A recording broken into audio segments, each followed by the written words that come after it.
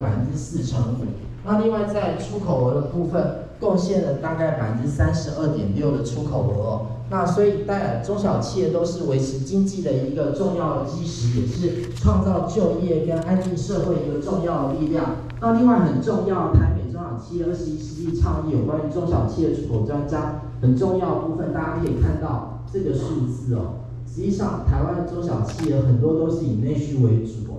我们说对于出口的贡献值只有二十五点九六，即使是美国这么大的国家，它的市场那么大。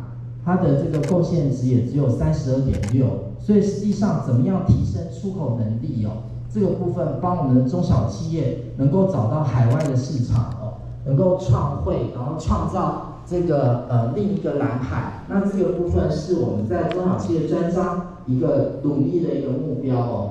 那所以刚包含这个杨副总哦、理事长、黄秘书长等等部分都提到。呃，中小美国对于我国的重要性，当然美国是我们第二大的出口市场。呃，另外一个部分的话，当然最近几年因为新东进潮这个部分崛起哦。